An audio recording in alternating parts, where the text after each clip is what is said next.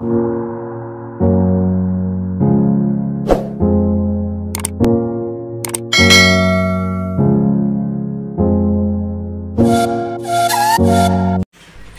and welcome to Shubham Bhagat YouTube channel मैं हूँ शुभम और आज हम लोग बात करने वाले हैं UPSC civil service examination 2020 phase one prelims one जो एग्जामिनेशन होता है, उसका चेंज सेंटर का चेंज करना चाहते हैं तो आज से जो एप्लीकेशन विंडो मतलब चेंज विंडो ओपन हो चुका है।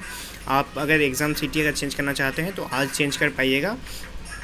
तो दो फ़ेज़ में इसका चेंज होगा। एक से हुआ था सात से तेरह तारीख तक, दूसरा फ़ेज़ है बीस से चौबीस जुलाई तक, ठीक है? तो आपको ऑफिशियल वेबसाइट में विज़िट करना है। उसके बाद अपना एप्लीकेशन आईडी रजिस्ट्रेशन नंबर जो कुछ पूछा जाएगा आपको, वहाँ से जाके अपना उसको सबमिट कीजिएगा। और कुछ कैप्चा होगा, और कुछ कोड भी हो सकता है, उसको जो है फिल आउट कीजिएगा।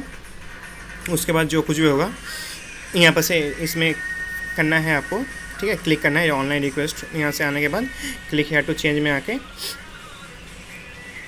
आपको डिस्क्रिप्शन में लिंक दे देंगे हम सब आपको, ठीक है, कोई दिक्कत नहीं, आप वहाँ से जाके जो है इसको कर पाइएगा, ठीक है तो यहाँ से कुछ होगा, इसको एक्सेप्ट करना है आपको एक्सेप्ट करके यहाँ से registration ID confirm random image जो भी होगा, आप यहाँ से चेंज भी कर सकते हैं आपको होता है तो इसको करके आप जो यहाँ से चेंज कर लीजिएगा। उम्मीद करता हूँ जो कुछ बताया गया मेरी तरफ़ से सब कुछ समझ पाए होंगे। इसी के साथ जो वीडियो समाप्त करते हैं, फिर से मिलते हैं नए वीडियो में। Thank you so much for watching have a great day